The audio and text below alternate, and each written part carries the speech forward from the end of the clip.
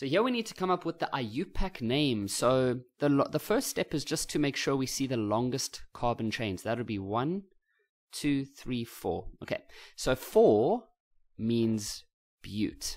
Okay, now if we start, we're going to start, this is the functional group, okay? So you're going to start naming from the side that is closest to the functional group. So this is number one, number two, number three, and number four.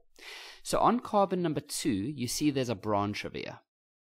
How many carbons are in that branch? One. So that's meth. So you say that on carbon two, there is a methyl branch. Okay, we need to make this one word. Okay. Now we need to think about what type of molecule is this? Like, is it an alcohol, alkene, ester? Well, what you should identify is that it's got the O, double bond O, with the OH. That is a carboxylic acid. Carboxylic acids, how do we end the name? Well, think about the most common one, like vinegar. Ethanoic acid. So that is how the name ends. You just say anoic acid.